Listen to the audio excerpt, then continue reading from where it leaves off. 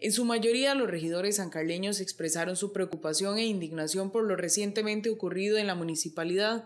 Aseguran que de alguna forma esto podría manchar la buena labor que se venía realizando en el municipio. Por ello requieren de mayor transparencia por parte de auditoría y se mantendrán al tanto de los avances de la investigación. Bueno, a mí sinceramente me da mucha pena eh, lo que está sucediendo en este momento. Eh, ya le tocará a él defender y defenderse de todas las acusaciones que le están haciendo.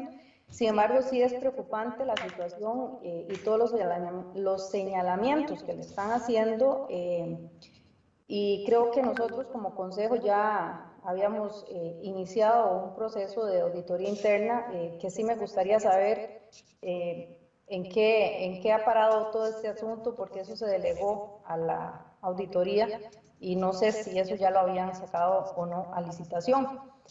Eh, y queda nada más que esperar a ver qué va a suceder de aquí en adelante. Esto no lo podemos ocultar.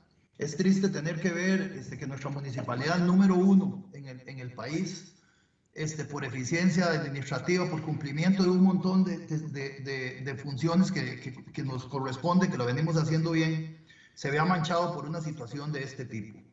Eh, es triste porque eso, porque desmotiva, desmotiva el trabajo municipal desmotiva a la estructura de, que hemos venido construyendo, no este consejo, desde consejos anteriores, por lo menos el anterior bastante, y, es una lástima que se vea empañado por situaciones que, que de pronto políticamente van más allá de la realidad y de las circunstancias. La alcaldesa indicó que la auditoría ya fue asignada y que surgió tras el caso Cochinilla, por lo que esperan pronto tener los resultados.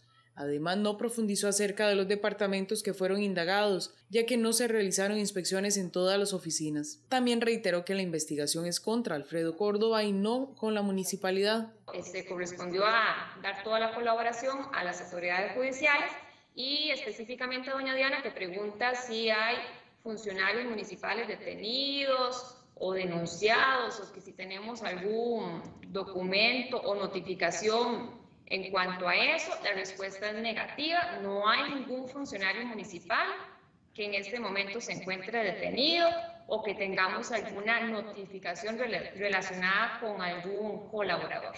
Recuerdan a los ciudadanos que el municipio está laborando con normalidad desde este martes.